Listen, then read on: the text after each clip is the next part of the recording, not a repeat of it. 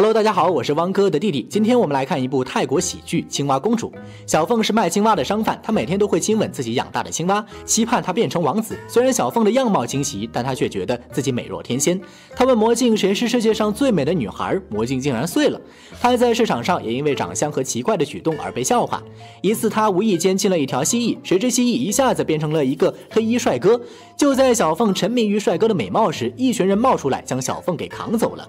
等小凤醒来，发现。自己居然睡在一张大床上，而她的腿还在流血。原来小凤脖子上挂着巴威国公主的信物，为了证实她的身份，宫殿的人抽走了她的血做 DNA 检测。小凤本来想逃走，护卫队队长呱呱的出现改变了小凤的想法。小凤的身份一下子就升了好几个等级，她带着护卫队去报复以往欺负她的人。谁知 DNA 检测结果出来之后，结果显示小凤并不是公主。护卫队将她扔在了市场门口，刚结下许多仇的小凤就被追杀了。但很快护卫队又返回接走了小凤。原来皇室要利用她假扮公主，以保真公主逃过反派的追杀。小凤开始享受着皇家的待遇，有专门给她打扮的化妆师团队，也有负责教导她礼仪的老师，同时还有护卫队队长呱呱的保护。小凤简直乐不思蜀啊！但其实呱呱队长一直在寻找着真公主。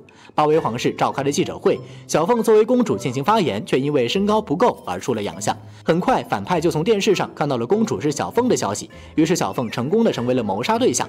晚会上，小凤因为喝酒而提前离场。呱呱队长将他安抚好，就出了门。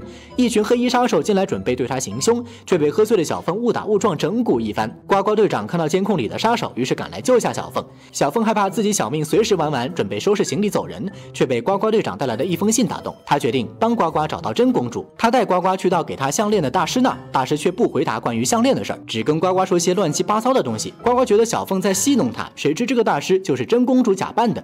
人面皮具一揭开，是个美人。小凤将项链还给。公主，谁知这是一条脚链。可是刚找回公主，小凤就被反派给绑架了。幸好英勇的呱呱救出了他们俩。他们逃进了一间严禁烟火的工厂，反派很快的追上了他们，但分不清到底哪个才是真的公主。就在一片混乱时，工厂内的气罐开始泄露，而真公主的身份也暴露了。小凤为了救公主和呱呱拖住敌人，谁知对方追着公主和呱呱而去，小凤却因为手指被卡在煤气罐上没法脱身。